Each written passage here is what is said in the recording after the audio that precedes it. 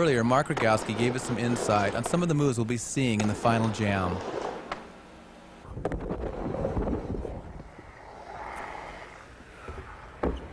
Oh my god.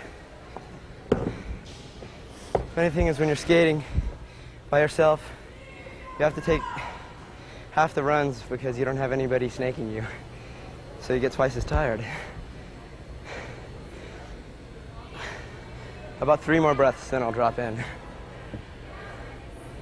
You ready? I wonder what I'll do.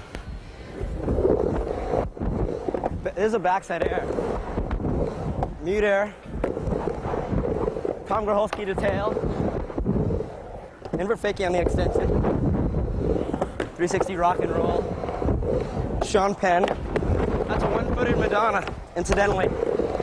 Uh, mute fakie. There's a good buddy.